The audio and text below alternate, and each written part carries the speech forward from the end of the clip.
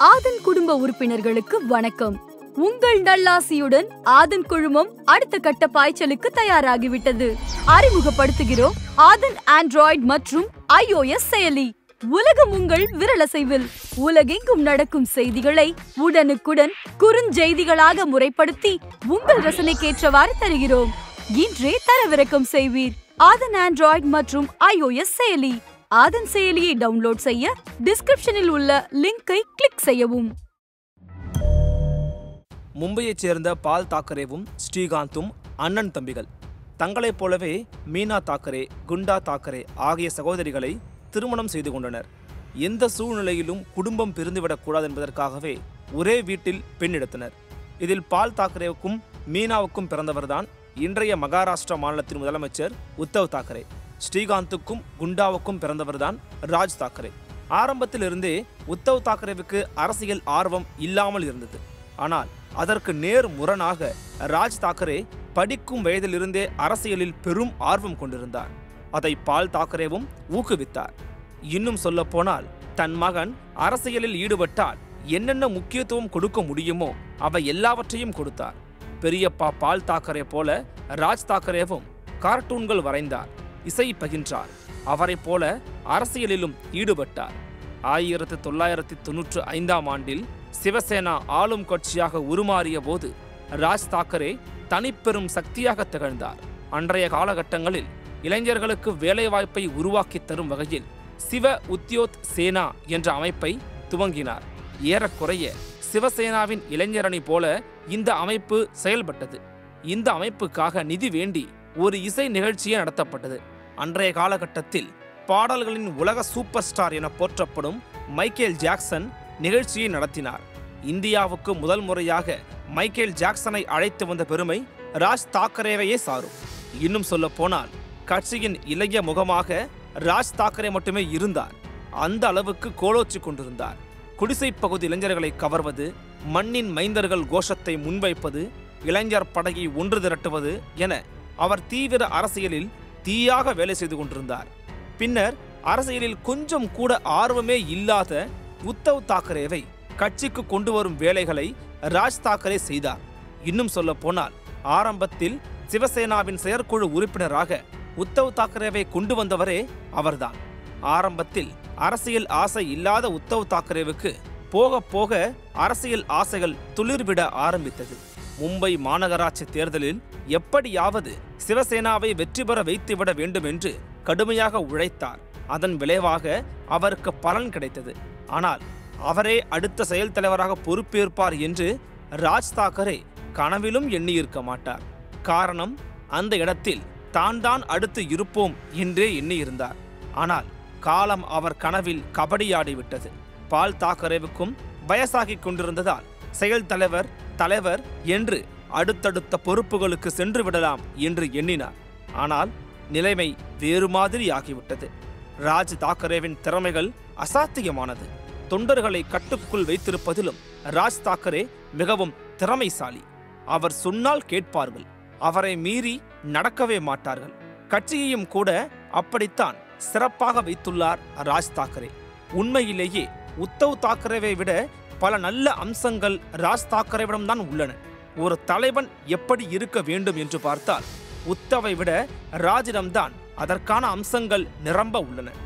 ராஜ் தாக்கரே நல்ல பேச்சாளர் வழவழா கொழகொழா என்று இருக்காது அழகாக பேசுவார். அவரது பேச்சினை கேட்க அப்படி ஒரு கூட்டம் கூடும். இது உத்தவிடம் கிடையாது. இதில் ஒரு கசப்பான உண்மை ஒன்று இருக்கிறது. ராஜ் தாக்கரேவின் கூட்டங்களுக்கு வந்த ஜனத்திரள் ஓட்டாக மாறவில்லை என்பது பால் தாக்கரேவின் குற்றச்சாட்டு. ராஜ் தாக்கரேவுக்கு இணையாக அதே நேரத்தில் நிதானமாக உள்ள ஒரு இள ரத்தம் வேண்டும் என்பது பால் தாக்கரேவின் கணக்கு. தனக்கு எதிராக வீட்டிலேயே சரி செய்யப்படுகிறது என்பது ராஜ் தாக்கரேவின் எண்ணம். இவை இரண்டும் ஒன்றாக சேர்ந்து மிகப்பெரிய சிக்கலை கிளப்பியது. ஏதேனுக்கும் இருக்கட்டுமே என்று கொண்டு வரப்பட்ட உத்தவ் தாக்கரே கட்சியை சிறப்பாக வழிநடத்தி கொண்டிருந்தார். இது அவ்வப்போது புகைச்சலாக வெளிப்பட்டது. உள்ளாட்சி தேர்தலில் ராஜ் தாக்கரேவின் ஆட்கள் புறக்கணிக்கப்பட்டனர் ஏறக்குறைய பனிப்போர் நடந்து கொண்டிருந்தது. பொறுத்து பொறுத்து பார்த்த ராஜ் தாக்கரே ஆயிரத்து தொள்ளாயிரத்து தொண்ணூத்தி ஆறாம் ஆண்டு மார்ச் மாதம் மகாராஷ்டிரா நவ நிர்மான் சேனா என்ற கட்சியை துவங்கினார். இது உத்தவ் தாக்கரேவுக்கு பெரும் தலைவலியாக வந்தது. இன்னும் சொல்ல போனால் சிவசேனாவில் இருந்த தொண்டர்கள் நவநிர்மாண் சேனாவுக்கு குவிய துவங்கினர் மூன்று ஆண்டுகளில் கட்சியை வலுப்படுத்தினார். எப்படியாவது தனித்து களம் கண்டு வெற்றி பெற வேண்டும் என்ற உறுதியோடு இரண்டாயிரத்தி ஒன்பதாம் ஆண்டு நடந்த சட்டமன்ற தேர்தலில் மொத்தமுள்ள இருநூற்று எண்பத்தி எட்டு தொகுதிகளில் நூற்று நாற்பத்தி ஐந்து இடங்களில் போட்டியிட்டு பதிமூன்றே இடங்களில் வெற்றி பெற்றார். இது ஓரளவிற்கு பேசப்பட்டது. இவரும் அரசியல் ராஜதந்திரிதான். ஆனாலும் கொஞ்சம் கூடுதல் இடங்களை பெற்றிருக்கலாம் என்றே விமர்சகர்கள் கூறி வந்தனர். அடுத்த பால் தாக்கரே கட்சியின் எதிர்காலம் என்றெல்லாம் பார்க்கப்பட்ட ராஜ் தாக்கரே சொற்ப இடங்களில் வெற்றி பெற்றது கட்சிக்குள் சலசலப்பை ஏற்படுத்தினாலும் தொண்டர்கள் கட்சியிலிருந்து விலகிவிடவில்லை. கட்சி கட்டுக்கோப்புடன் தான் இருந்தது. அதே நேரத்தில் எந்த அனுபவம் இல்லாதவராக பார்க்கப்பட்ட உத்தவ் தாக்கரே மெல்ல மெல்ல அரசியல் வாழ்வில் உயர்ந்து கொண்டே இருந்தார். அதே நேரத்தில் சிவசேனாவின் வாக்கு வங்கி ராஜ் தாக்கரேவால் சிதைக்கப்பட்டு வந்தது.